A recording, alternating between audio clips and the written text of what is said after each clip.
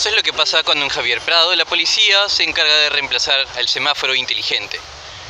Empieza a llenarse todo. Y cuando la gente quiere cruzar, empieza también a amontonarse ahí. Y no es solamente acá, llega a veces hasta Canadá. O sea, siete cuadras de tráfico para que los de Javier Prado avancen.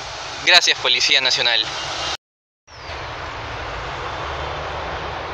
Para eso les damos prioridad.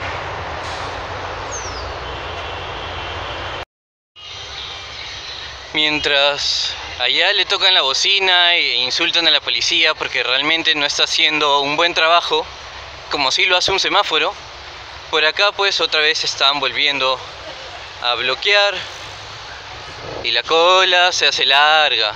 ¿A quién se le da la ventaja? A los autos privados.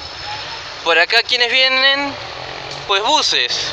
De norte a sur es transporte público. De este oeste son la gente pudiente que tiene auto. Entonces, ¿a quién favorece la policía? Al privado, dándole la espalda a la gente que se transporta de manera más humilde y sostenible.